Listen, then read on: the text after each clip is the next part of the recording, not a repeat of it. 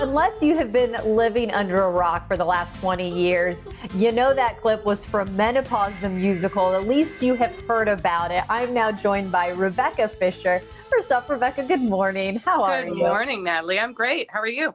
I'm good. I'm so excited to talk about this because I didn't realize it's been over 20 years now. So people have heard of Menopause the Musical. Mhm. And the thing is, though, they still love seeing it. Rebecca, what is it about this play, this musical that is just so much fun that has really been able to withstand two decades?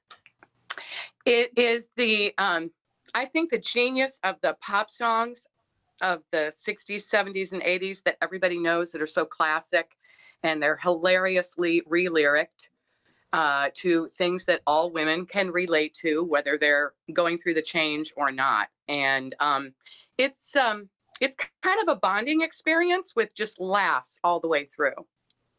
How And we keep important? connecting. and obviously, I think that's the key because how important is it to be able to laugh as women are nearing the change or maybe going through it, or even at this point, if it's in the rearview mirror? Yeah, absolutely. It's definitely Um. It feels Hey, good to laugh. It's medicinal. It, it- you know what, Rebecca, talking about the longevity, though, one thing that you surprised me, I didn't realize it was written in Orlando. Yes. It's a Florida grown show.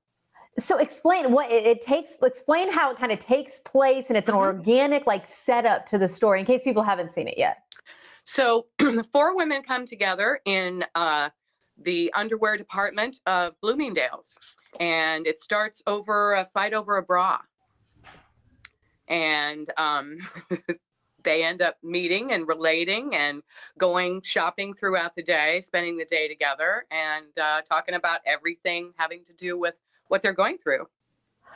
I 17 million people have been able to laugh along with this. Yeah. 17 million women, I'm assuming, who can relate to this. Is Yeah, that men like it too, though.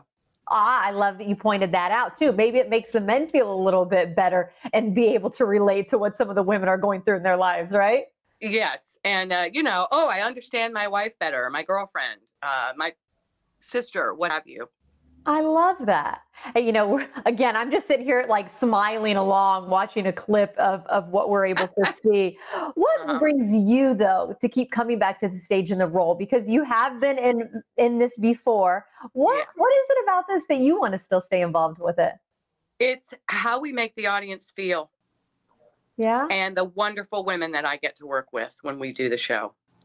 It, it looks like you're having a ball. It looks We like it's do. fun for everybody there. Yeah, Aw.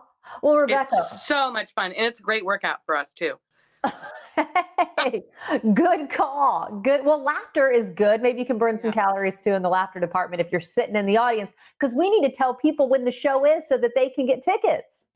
We are playing the third through the fifth only four performances at the Straz Center, and you can go on menopausethemusical.com. We have uh, a show Friday night at 7:30, Saturday two shows, 2 and 7:30, and Sunday at 2, and that's it.